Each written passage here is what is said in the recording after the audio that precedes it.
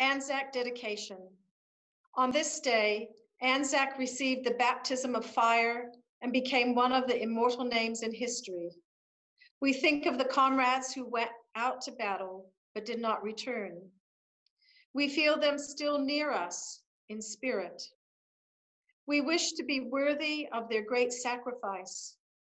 Let us therefore once again dedicate ourselves to the service of the ideals for which they died. As dawn pierced the night, so let their memory inspire us to work for the coming of the new light into the dark places of the world. Welcome to this Anzac Day reflection. I'm Marianne Hornburg. I'm chaplain at Selwyn Oaks. Today, I will share with you a brief Anzac commemoration. Years ago, I was the padre to the local RSA, and whenever I was asked to participate in an official event, they asked me to dress up, wear my clericals. So I thought that I would wear my clerical shirt today and a red stole so that I could honor them and to make this a formal occasion. And if you look over my shoulder, I have an Anzac wreath which was made from knitted poppies. The poppies were knitted especially for today by the residents of Selwyn Oaks. So it's very special to have this wreath. As been many occasions recently, this is a most unusual Anzac Day. Usually thousands gather for dawn services throughout New Zealand. There are parades and gatherings at cenotaphs and other memorials. Anzac biscuits and a wee drink at the RSA. But not today. A virtual service was held at 6 a.m. this morning. New Zealanders were invited to stand at our gates just before the service to honor the Anzacs. Maybe you were up and joined others in this very early morning ceremony. I welcome you to this commemoration, where we remember with thanksgiving those who made the supreme sacrifice in the time of war, those who gave their lives physically and mentally and those who have been peacemakers. We pray that offering of their lives may not have been in vain. Today, we dedicate ourselves to the cause of justice, freedom, and peace. And we ask for the wisdom and the strength to build a better world.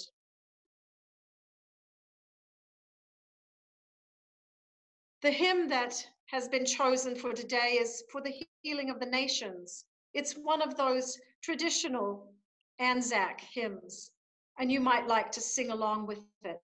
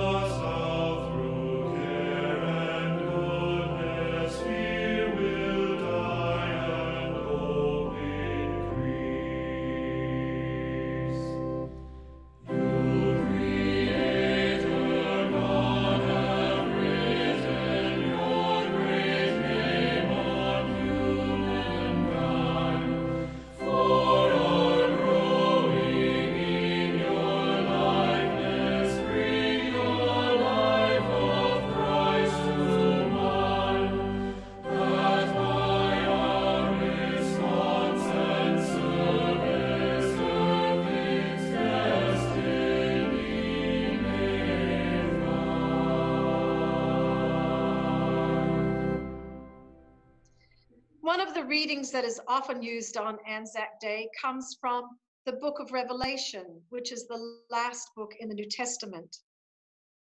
From chapter 21. Then I saw a new heaven and a new earth, for the first heaven and the first earth had passed away, and there was no longer any sea. And I heard a loud voice from the throne saying, Look, God's dwelling place is now among the people, and he will dwell with them. They will be his people, and God himself will be with them and be their God. He will wipe away every tear from their eyes. There will be no more death, or mourning, or crying, or pain, for the old order of things has passed away. Anzac Day is one of New Zealand's most important national holidays. It's a day that draws together New Zealanders in a way that no other day does. It's a day that brings a sense of collective pride in our nation and citizens. While it's a day of commemoration, it's also a day to acknowledge and to celebrate the heroism and the sacrifices that were made. Sacrifices so that we might have the freedom to live in a just society. And it's a unique day. It doesn't celebrate victory like most national days do. It doesn't glorify war. It's the anniversary of the landing of New Zealand and Australian troops at Gallipoli in 1915. That campaign that led to thousands of deaths. Rather than victory, we honor the sacrifice. As you know, Anzac Day was established to remember those who died at Gallipoli and those who gave their lives in other parts of the world during World War I. And as the years passed, and as there were many more wars, the day has come to be a time to acknowledge the sacrifice of all who have died in warfare, and the contribution and the suffering of all those who have served.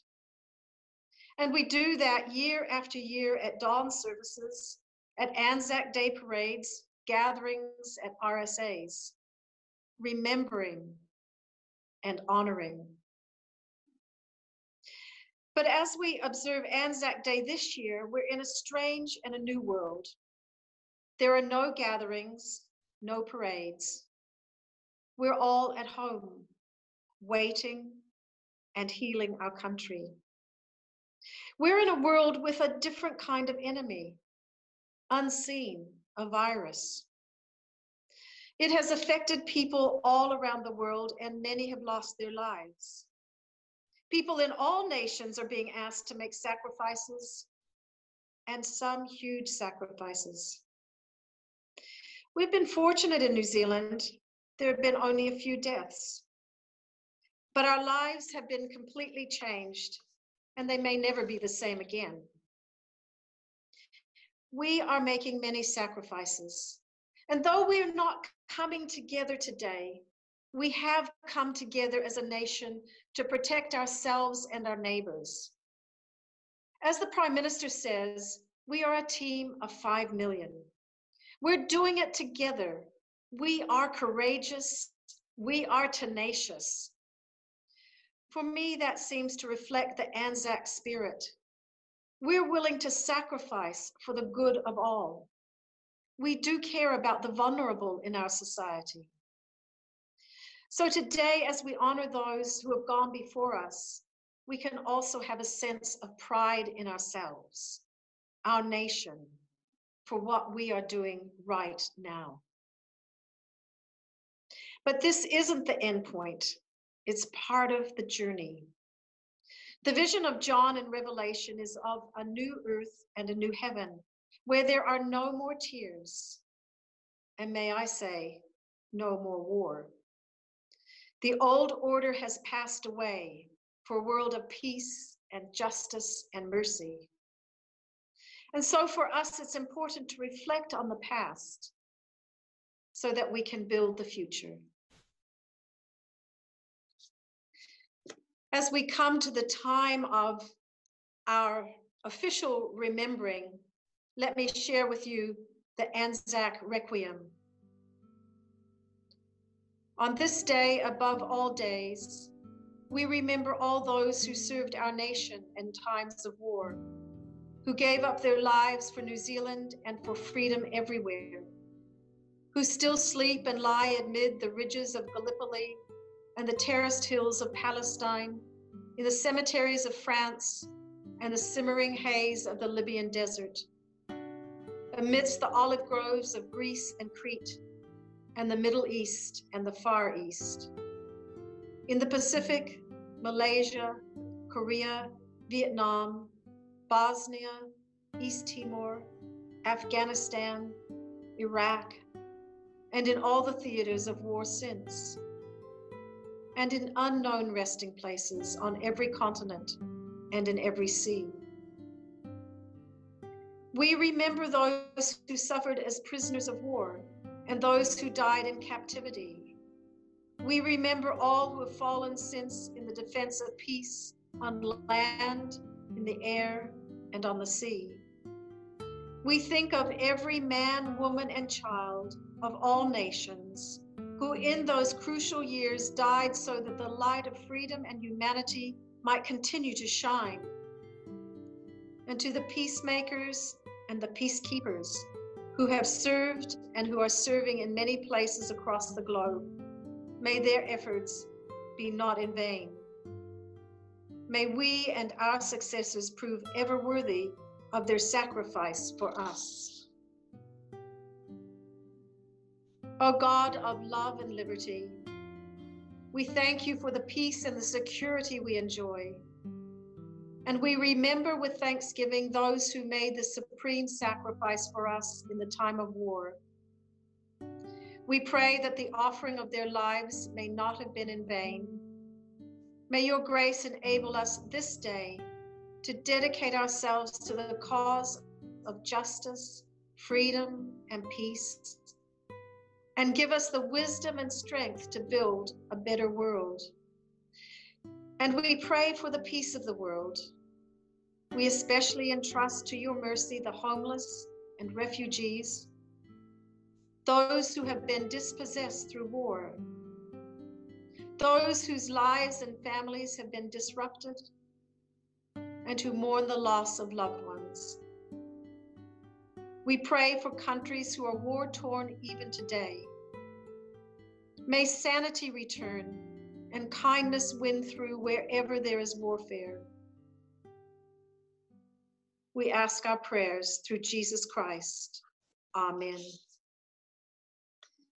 Usually, when we gather on Anzac Day, we stand for the playing of the last post and the saying of the ode. You might like to stand now. They shall not grow old as we that are left grow old. Age shall not weary them, nor the years condemn. At the going down of the sun, and in the morning, we will remember them.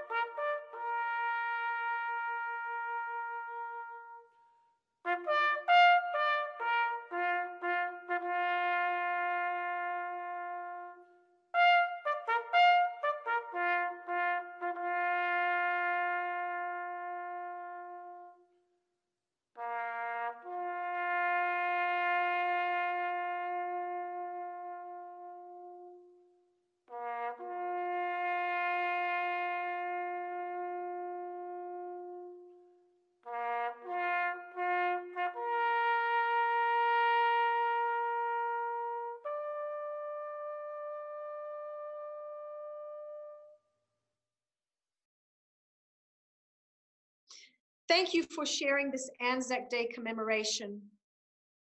May it contribute to your sense of unity on this Anzac Day. And so we will conclude with the national anthem.